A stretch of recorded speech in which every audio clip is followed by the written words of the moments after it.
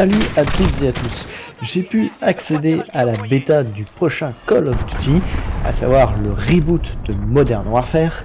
Alors Modern Warfare, pour tous ceux qui ont joué à Code, ça reste un petit peu la référence à la fois du solo qui défonce et du multi bah, qui a carrément euh, changé le genre avec la qualité des maps et une action euh, qui était euh, soutenue et efficace.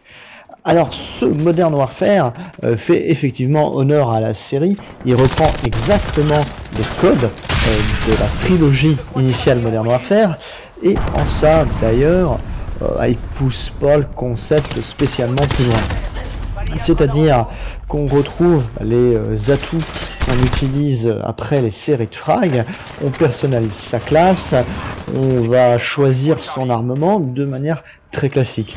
Dans ce Modern Warfare, forcément pas de gadget euh, style euh, wallrun ou autre jetpack fantaisiste. On revient à une action euh, classique, voire lambda, je dirais.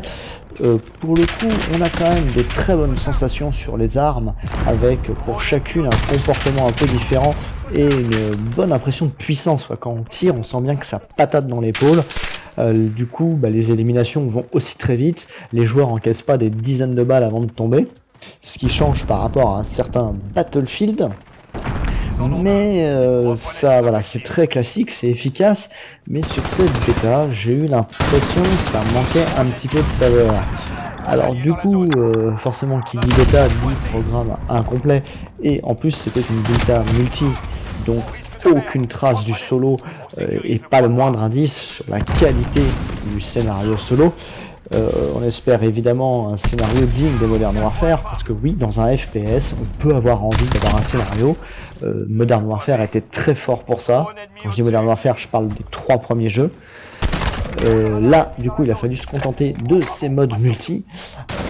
donc en soi, voilà, j'ai eu du plaisir à jouer. Euh, même si ça faisait longtemps que j'avais pas joué à un FPS, j'ai pas eu l'impression d'être plus que ça un canard assis. On va dire que j'étais pas glorieux, mais euh, quand même on arrive à prendre ses shoots. Euh, c'était plaisant, c'était vif, mais en soi je j'ai pas perçu d'originalité. Qu'est-ce qui fait que ce multi va me faire dire que ça, ça défonce tout le reste et qu'on va y jouer des dizaines et des dizaines d'heures? Je sais pas, sincèrement. Donc on va voir euh, la version finale, euh, sachant que le jeu, je vous le rappelle, est attendu sur PS4, Xbox One et PC.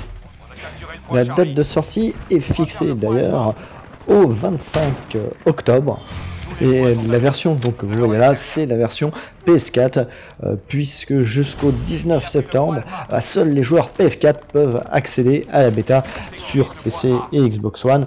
Donc il va falloir attendre les jours suivants. Et si je ne m'abuse euh, c'est à partir du 19 voilà c'est ça pour les joueurs PS4 et PC et Xbox One les 3 et encore donc le 21 23 PS4 PC et gratuit pour les joueurs sur Xbox One Gold. Alors que dire, euh, si ce n'est que bah, j'attends de voir évidemment la version finale avant de me prononcer, et bah pour l'instant je vous laisse profiter du reste de l'action et je vous dis à très bientôt. Allez, ciao ciao On demande un survol de reconnaissance.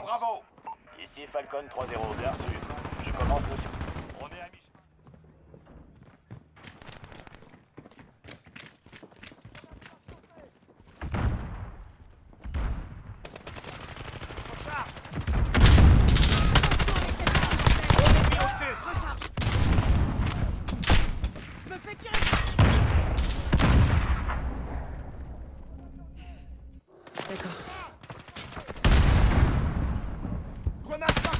Un